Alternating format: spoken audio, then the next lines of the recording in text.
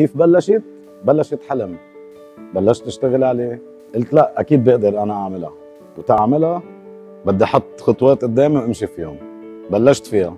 فكرت خططت لها. بلشت نفذها. ما تخيلت أوصل فيها بهي الطريقة اللي بسرعة بس قلت بعملها. سو أنا اسمي ريان أبو ظاهر من بيروت لبنان.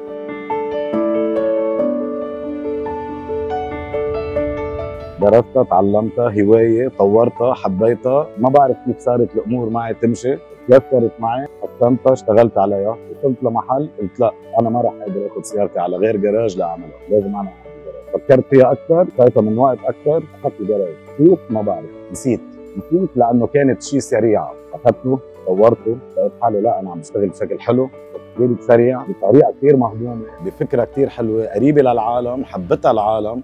لقيت حالي لا أنا هذا الجراج ما بقدر بدي كبره أكثر كبرته أكثر أعطيته من قلبي لأنه هو كان المحل اللي انطلقت منه. صرت كبر التيم عندي صرت اتفق معهم أكثر صار عندي طريقة حلوة أكثر إنه أتعامل معهم.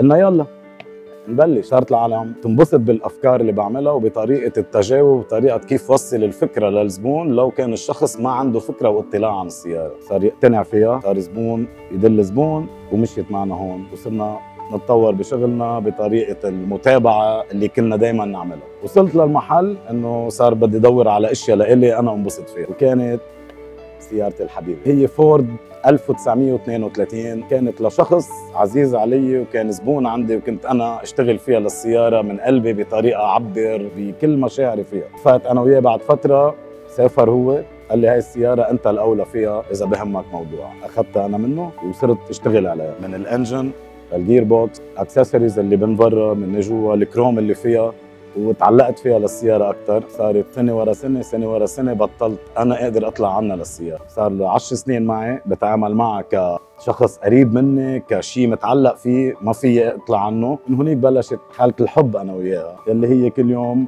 باخذها مع فنجان القهوة بتفرج عليها لكون مبسوط. السيارة كتير سلسة كتير مهضومة كتير حلوة على الطريق suspension كتير حلوة فيها. بستمتع وبعدني بستمتع وكل مرة بطلع فيها بستمتع. مشينا بحالة الحب تعلقنا فيها أنا ملتزق فيه. ما قدرت أطلع منها ما عندي النية إني أطلع عنها. بستمتع بسواقتها سيارة كتير حلوة سسبنشن ميزانيتها كتير حلوة. نمشي فيها بسرعة كتير عالية لدرجة إخدين بعين الاعتبار موديل السيارة وعمر السيارة.